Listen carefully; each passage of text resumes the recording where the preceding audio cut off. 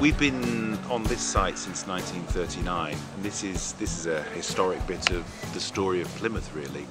Um, the building that we used to inhabit, we've now moved into our newly refurbished place, and it's been empty probably for nearly two years.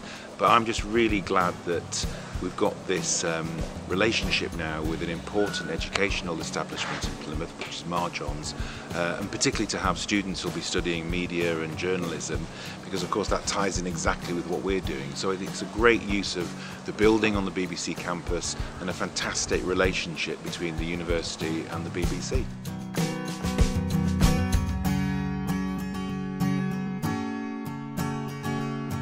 Well, we've already seen the benefits because we've been having uh, BBC editors and journalists coming in as guest lecturers. So being closer is just just gonna get better. The networking opportunities and uh, the real life experiences that you don't necessarily get in a classroom. Um, it's the opportunity to meet a lot of people and to be put under pressure, a good, a good amount of pressure, um, to be ready for the real life when we graduate. I think it's going to open up a lot of really exciting opportunities um, for lots of students and um, I think you can't really find these opportunities in other places.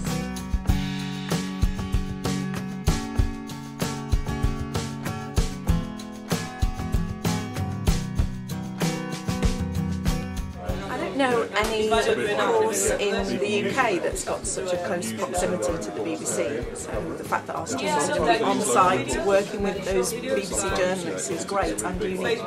So we're going to be able to offer such an amazing opportunity for them to learn from journalists who are doing it every day, um, as well as the academics at the university as well. So it's a really good combination.